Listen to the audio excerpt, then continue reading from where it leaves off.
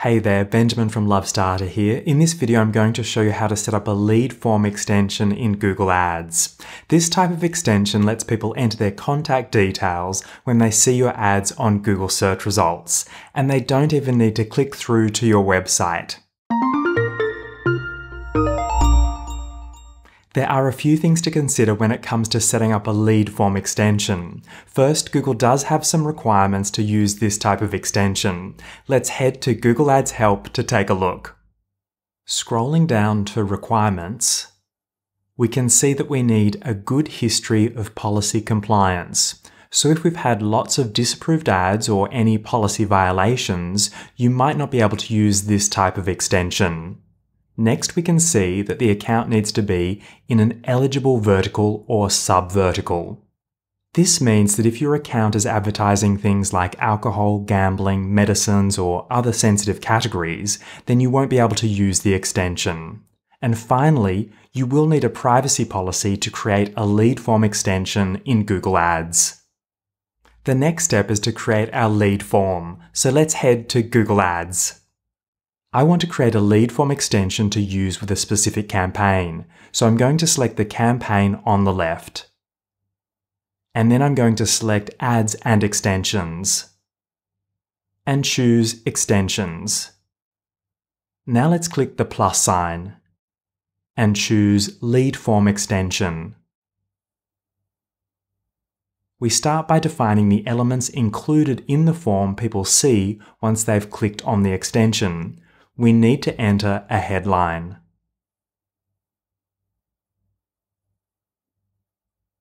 Our business name, and we need to enter a description.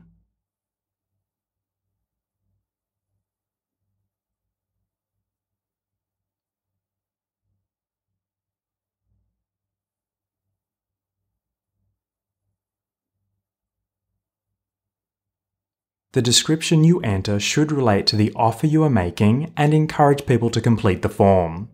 In the preview on the right, we can see that the lead form asks for people's full name and email address. If you'd like to ask for people to provide different details, then you can select from the available options.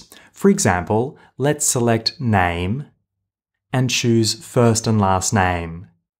And let's also select Email. I recommend asking people for the absolute minimum amount of information you need. The more you ask for, the fewer people will complete your form. You can also add questions to help qualify leads. You can choose from a range of predefined questions, and you can then add multiple choice or ask people to type an answer. Then we need to provide a link to our privacy policy.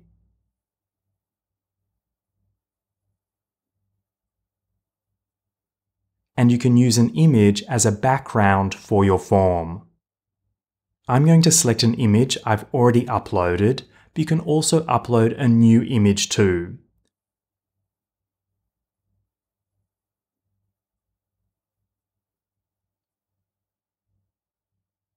We can now see what our final form looks like on the right. And we can click the laptop icon to see what it will look like on laptop and desktop devices. Now we've entered the details for the form, the next step is to customize the thank you message. Let's select Create Form Submission Message. We can now see a preview of the thank you message people will see after completing the form we can customize the headline and enter a description.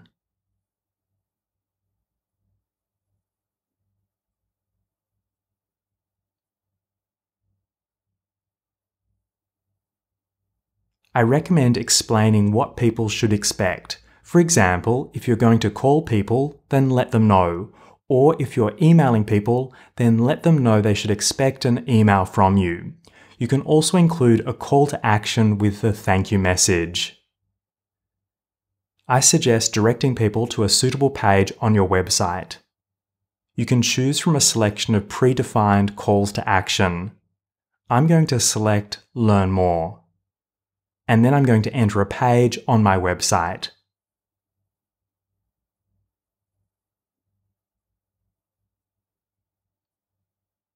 The next step is to choose what people will see as the call to action with our ad. So let's select this option. Let's start by selecting one of the predefined calls to action. I recommend choosing an option that aligns with your offer and encourages people to click the extension. If people don't click this, then they won't see your lead form. You can then enter a short description.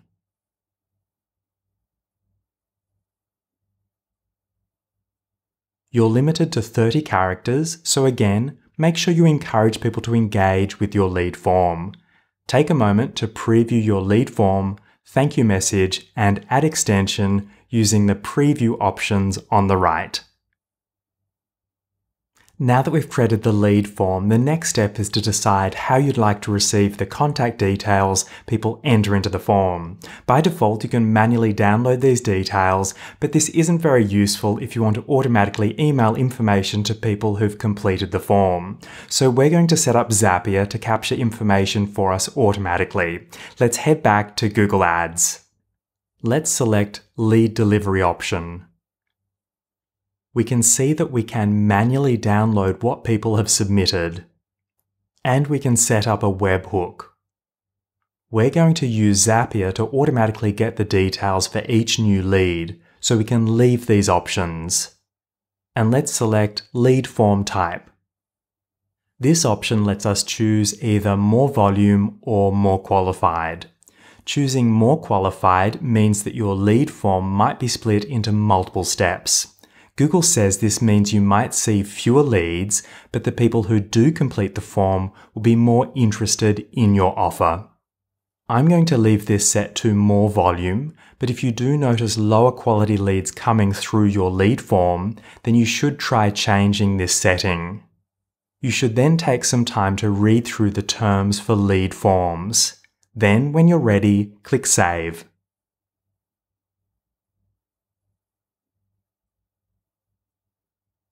We've now created our lead form, but now we need to configure Zapier so that we're automatically capturing the information people submit. If you don't complete this next step, then you will need to manually download your leads. Let's head to Zapier. If you haven't used Zapier before, it lets you connect different platforms so you can share data between them. And you will need a paid Zapier account to connect with Google Ads. Okay, so I've already logged in and I've selected the option to create a new Zap. Let's start by searching for and selecting Google Ads. Under Trigger Event, let's choose New Lead Form Entry and click Continue. You'll then need to connect or choose your Google Ads account. Follow the steps to authorize access.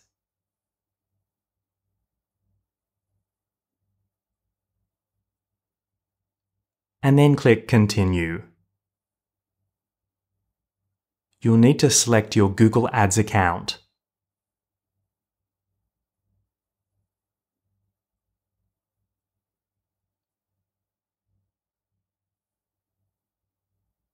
Select the lead form you just created.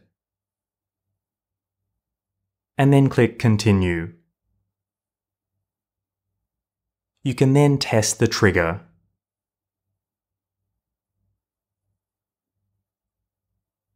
And click Continue. Now you can connect your lead form from Google Ads to the platform you're using. For example, you might want to receive an email when people submit the form, or you might want to connect it to your email marketing platform or your CRM. I'm not going to cover all of the steps to set up Zapier in this video, but if you would like me to cover this in a future video, please let me know. Once you're up and running, you'll be automatically capturing details from your lead form. And I'd love to hear how you go setting up a lead form extension in Google Ads. Let me know in the comments below. To learn even more about Google Ads, check out the links I've included in the description below. That's all for now. I'll see you in the next video.